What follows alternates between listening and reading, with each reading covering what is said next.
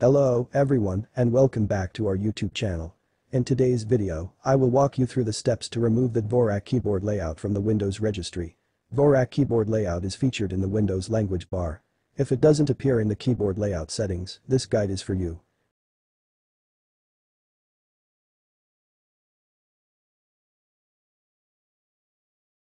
Before proceeding, open Windows settings.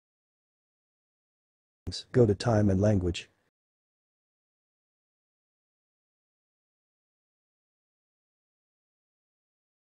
Select language. Click on English US, then choose Options.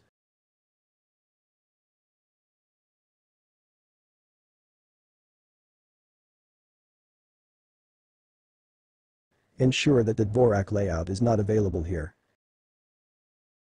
If it is available, you can remove it by simply clicking on it and selecting Remove. If it's not available, we will show you how to remove it from the registry, let's get started.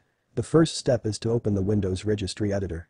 To do this, open Start Type Regedit in Search and then click on Registry Editor.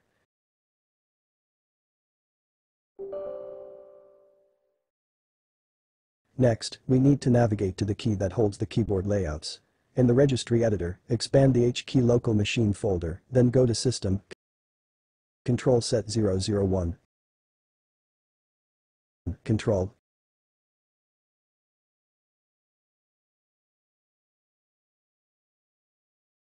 Keyboard layouts.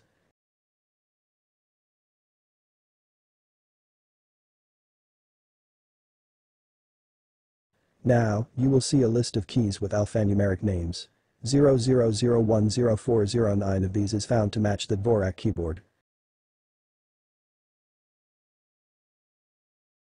Before making any changes, make sure to backup the registry key.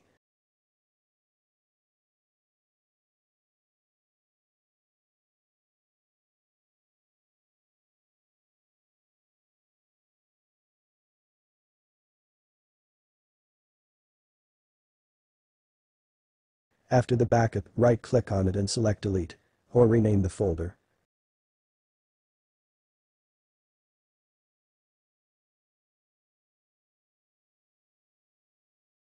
Oh ensure that the changes take effect, it's a good idea to restart your computer.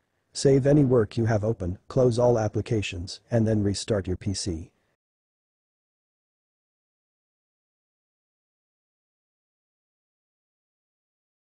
And there you have it.